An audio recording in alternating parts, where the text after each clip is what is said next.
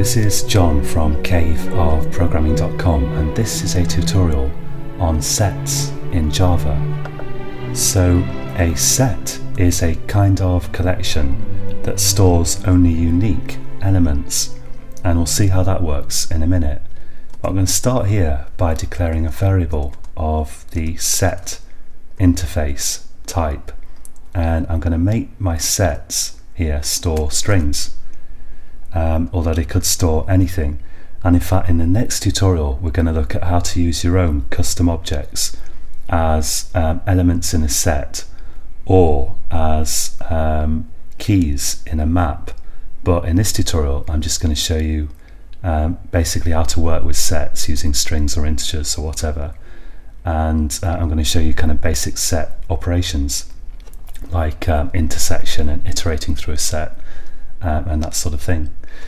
So um, I'll create a set here that stores strings um, and I'll call this variable set1 and I'm going to set that equal to a new hash set um, which stores of course strings.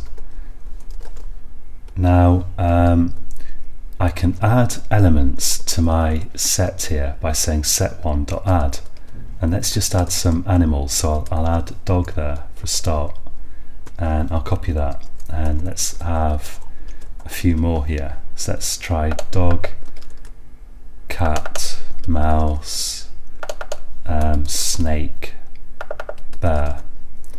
And I can output that set very easily by just doing a sys out on the set variable itself because the toString method of sets is rather nice. And if I run that it's going to show me what's in my sets what's in my set now, um, if I were to add the same um, item again, so like um, if I say um, adding duplicate items, I'm going to put this code on caveofprogramming.com so you can peruse it at your leisure. Adding um, duplicate items does nothing basically.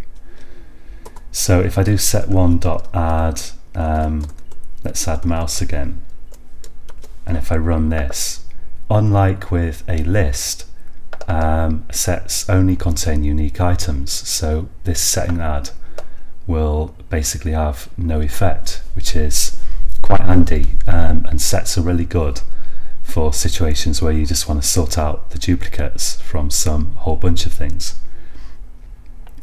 Now, hash set, um, as you may have noticed here, doesn't remember any kind of order. So let's put a comment here. Hash set does not retain order. And hash sets can and will spontaneously rearrange themselves according to no particular um, logic. So um, if you want your items to be ordered in a set, don't use a hash set and certainly don't rely on them being in the same order every time in a hash set. If you want to um, order your items, then you can use a different kind of set. Let's say here, uh, linked hash set remembers the order you added items in. And I'm going to change this to a linked hash set. And let's comment this one out. And uh, with a linked hash set, um, a linked hash set is like a hash set except that it has a doubly linked list running through your items so it will keep them in the right order. So I've added them dog, cat, mouse, snake, bear and here we've got dog, cat, mouse, snake, bear. And you can see that um, adding the mouse again hasn't caused any rearrangement. It just ignored it because mouse is already in there. And finally if you want your sets sorted in natural order you can use tree set. So tree set sorts in natural order. And natural order uh, we're going to explore a bit more in a future tutorial. But um, for um, uh, for strings, natural order is going to be alphabetical order, and for um, integers, it's going to be sort of one, two, three, four, five, and so on. And for for you know doubles, um, of course, it's going to sort them numerically. So if I call this, if I use a tree set here, um, and I run this, we're going to get bear, cat, dog, mouse, snake. This is alphabetical order now. It's tree set sorts in alphabetical order um, for strings. Okay, um, so let's have a look at some um, common kind of operations that you want to do with sets. So um, probably the most common thing to do is iterate through the set. So um, let's have a comment here, iteration. And you can iterate through a set most easily using a for each loop. So if I say for, um, and I declare a variable of the type of thing that's in my set, and I put a colon there, and then just put the variable that points to the set, then that's going to set element to each element in turn in my set. So if I output this, I'm going to get all the elements in my set. And of course, if it's a hash set, it could be in any order. Tree set, of course, we're going to get it alphabetical order. And a linked hash set is going to be the order that I added them in. So pretty straightforward. Um, and often you want to know if a set has a particular item in it. So um, does set contain contain a given item? And sets are kind of optimized for that kind of thing. So you can say, unlike with a um, with a, a list, if you want to find a particular item in a list, you're going to have to look through all the items in it. But sets are optimized for finding particular items quickly. So I can say if set1 dot contains let's say um, odd fork, which I know it doesn't, then let's have a sys out here. Sys out contains odd odd fork, odd fork. Let's try to spell odd fork correctly. Not that it matters at all. Odd fork, I think that's correct. Um, and let's have another one here let's say if set contains cat, which it does, contains cat. So if I run that, it's not going to say contains aardvark, but it's going to say contains cat. So contains just checks if the item's in there or not. Um, and uh, if you want to check if a set is empty, you can use the um, is empty method. So I could say here if if uh, set one dot is empty, then um, let's say sysout set is empty. And let's do that again after I've added items. So um, it's going to say um, here um, set one uh, is empty or it should do where are we? Set is empty but um, set is empty at start. Set is empty after adding, that actually won't happen. So if I run that, um, of course it's empty, empty to start with, but after I've added items, it's no longer empty. Um, now there's a bunch of other useful methods, and you can check those out um, for yourself if you just go to Google and type something like Java 7 or whatever set, um, and look at the set interface and look at the methods that it lists. So we've got stuff like add all and clear to get rid of all the items from a set, contains, contains all to see if it contains all the elements um, in a particular collection. Um, it has remove, so you can remove elements, which I won't show you um, in this tutorial because it's going to get a bit confusing because I want to show you a couple of other slightly more complex methods. Is empty to array to turn your set to an array.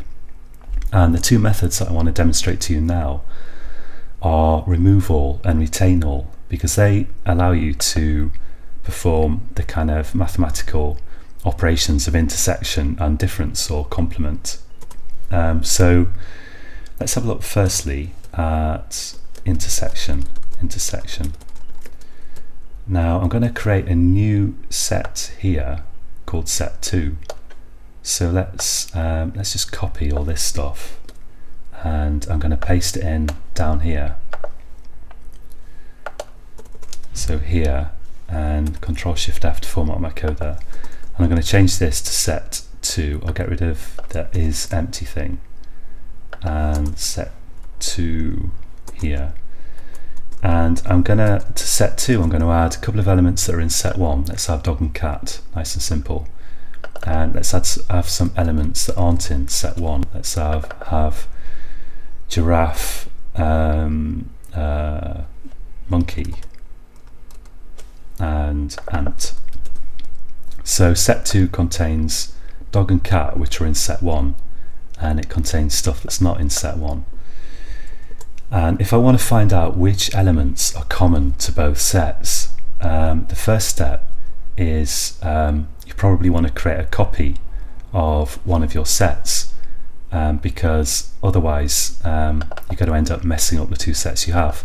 So I'll do this. I'll do like set um, set containing string strings, and I'll call it intersection intersection equals new.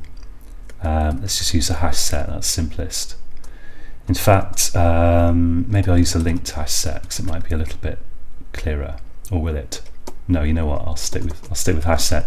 Hash set is the most um, uh, kind of lightweight type of set you can use. So usually you use hash set unless there's a particular reason to use tree set or linked hash set.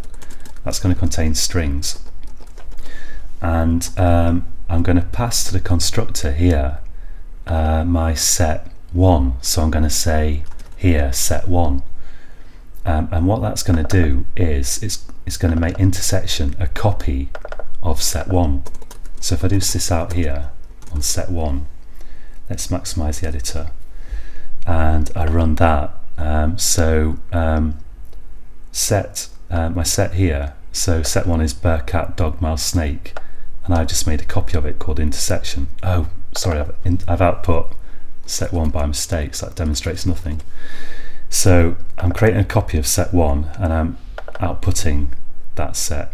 So I run that, um, and so set one is bear, cat, dog, mouse, snake, and my copy called intersection is bear, snake, mouse, cat, dog, uh, which is actually the same. So bear, snake, mouse, cat, dog. Okay. And what I want to do is I want to find out which elements are in this that are only in um, set 2. And to do that, um, I can say intersection intersection dot retain all and then pass it um, my set 2.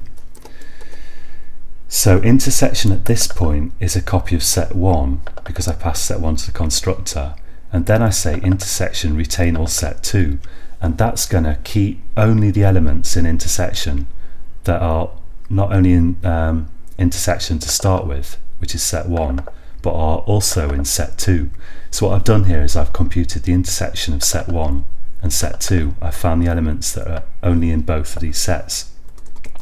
So let's put um, the sysout down here and run that and you can see I've just got cat dog because those are the elements that are common to set 1 and set 2.